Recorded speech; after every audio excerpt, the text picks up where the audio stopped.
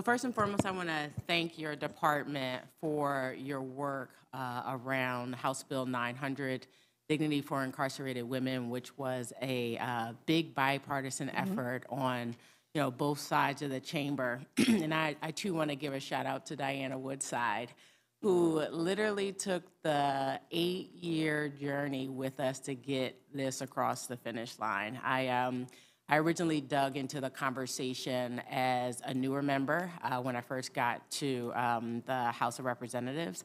And at that time, our current appropriation chairman was a baby himself in these chambers, and he was chair of the Pennsylvania uh, Legislative Black Caucus. And, you know, we, for one of the first times, uh, hosted a policy hearing at um, Muncy SCI uh, facilities, uh, specifically for the women population. So, you know, I do want to thank you uh, for your work in that effort, and you know, thank you for your commitment over that very long time period that it took to get that across the finish line. But it's done. Um, Thank you as well. Yes, thank you. So I raised that question because um, we still, as similar my colleague mentioned, the female population for some time was the fastest growing population in our system. But during COVID-19, you saw uh, the trend reverse.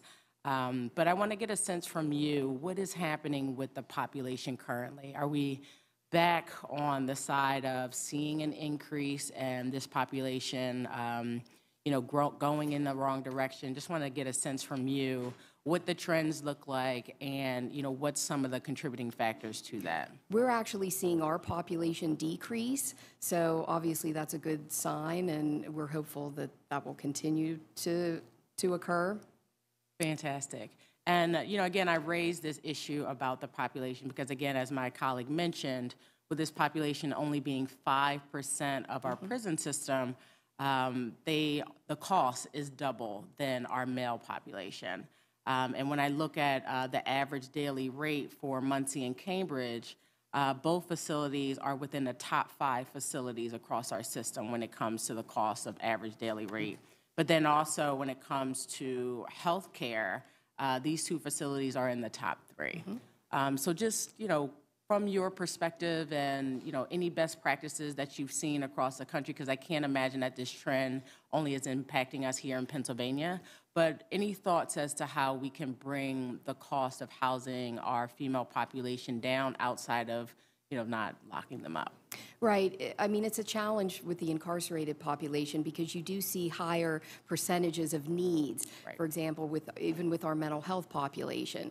Uh, Males, it's 35.3%. Females, it jumps up to 62.4%. Um, Seriously mentally ill uh, males, 7.3%, but it jumps up to 12.5% with the females. So you see but we do see average like 70% with drug and alcohol issues. But we see a significant portion, obviously, with the medical care, but then also with mental health care. So prisons like Muncy, Cambridge Springs, Muncy, we have a lot of specialized programs amount, around mental health treatment. And of course, there's a cost associated with that. Um, but like I said, we, we really feel that we do a nice job, especially around the issues of trauma, um, sexual safety, and some of those significant issues that our, our females uh, continue to have. And then, of course, expanding our uh, supports for our pregnant females. So Great. always looking to improve our system by any, by all means, but um, certainly our, our staff at our female facilities really do a great job in offering those essential services. And to that point, if I can just ask this last question, what are the recidivism rates specifically as it relates to the female population? And I ask that question because, you know, if we are providing the adequate supports where our recidivism rate is low, that is phenomenal. But if we need to be doing more work uh, on the front end as they, you know, come into our system, that's something that we need to be focused on as well. The recidivism rates for females is actually lower than the males.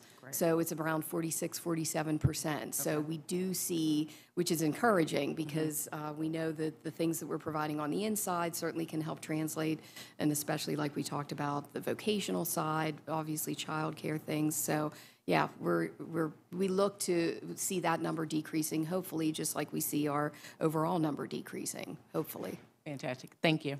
You're welcome.